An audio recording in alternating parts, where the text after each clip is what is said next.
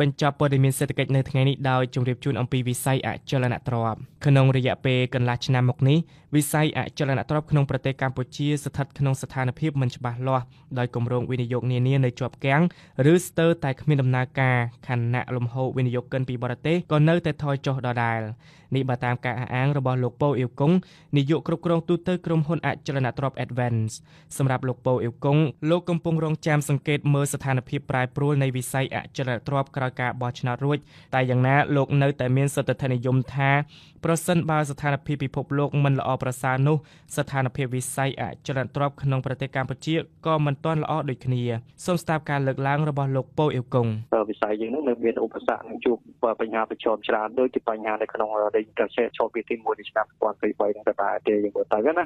ហ្នឹងហើយដោយសារទី1យើងមើលឃើញអំពីគេហៅថាការប្រឈមមុខដាក់គ្នារវាងសង្គ្រាមវានៅតែមានវាត្រូវបានចប់ទេវានៅតែអូបឡាអញ្ចឹងណាគូផ្សំជាមួយនឹងយើងហៅថាដែលមានបញ្ហាសេដ្ឋកិច្ចចកលនឹងមានបញ្ហាហានិភ័យប្រជុំមុខជាមួយនឹងបញ្ហាវិបត្តិខ្លះខ្លះដែរអញ្ចឹងយើងគិតថាវាសម្រាប់ចលករនៃការលំហូរវិនិយោគក្នុងសុខយើងវានៅមានកម្រិតទៅដែរអញ្ចឹងណាវាអត់ទាន់មានអីទាក់ទាញទេយើងមើលទៅជាក់ស្ដែងអញ្ចឹងណាជាក់ស្ដែងយើងឃើញថាគម្រោងដែលអនុវត្តតែកាលពីឆ្នាំចាស់ឬក៏ឆ្នាំថ្មីនេះ បើយើងចូលឆ្នាំ23នេះគឺយើងគិតថាគម្រោងដែលអនុវត្តជាគម្រោងកណ្ដូយ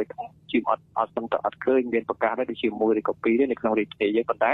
វាគ្រាន់តែការប្រកាសឲ្យតែគម្រោងនៃការវត្តឬចាប់ផ្ដើមដូចជាយឺតយឺតតែទេអញ្ចឹងណាហ្នឹងហើយដោយសារយើងនិយាយទៅវាពាក់ព័ន្ធជាមួយនឹងចរន្តនៃការលក់ចេញនិយាយថាតម្រូវការនៅលើទីផ្សារវាហាក់ដូចជាមិនមានដំណើរទេអញ្ចឹងណា